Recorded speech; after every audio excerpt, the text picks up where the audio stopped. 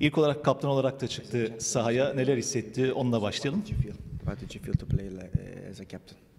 Uh, It's a proud uh, moment for me, of course. Uh, I never in my dreams expect to be be a captain of a big club like this. So uh, I'm really thankful for the coaches and uh, to giving me the chance to to lead the team in this uh, game. And uh, luckily we win also. So it's a perfect day.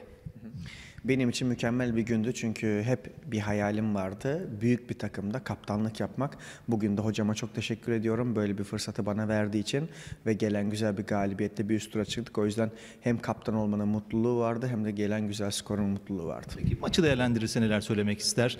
İlk maçtaki avantajımızı sahaya yansıttık. Öne geçtik. Biraz zorlandık ama sonrasında kazandık. And then later we had some difficulties but finally we qualified.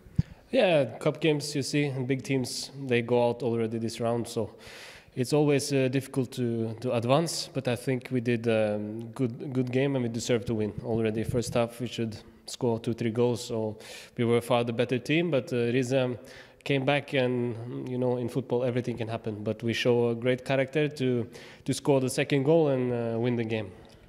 E, kupa maçları hep bu şekildedir. E, beklenmedik sonuçlar olabiliyor. Baktığınız zaman, diğer sonuçlara baktığınız zaman büyük takımların da kupanın dışında kaldığını görüyoruz.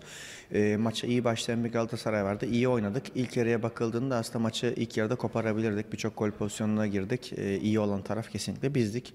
Ondan sonra rakibimiz tekrar attığı golle bir geri geldi ama bence çok güzel bir karakter örneği gösterdik.